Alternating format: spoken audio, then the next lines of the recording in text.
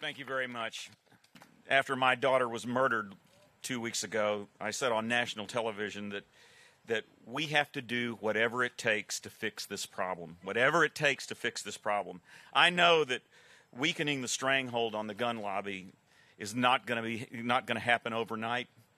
Uh, I know too that passing background checks won't prevent all acts of gun violence from taking place. But if we can just stop, go through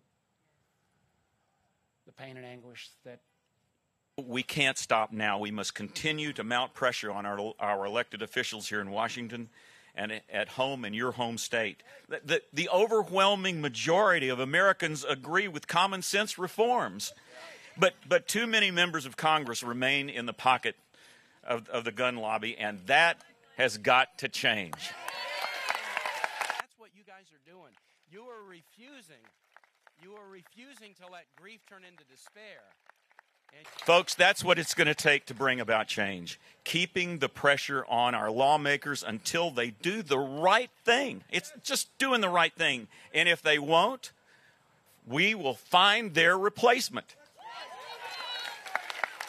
advocates across the country are holding more than 50 whatever it takes events from coast to coast.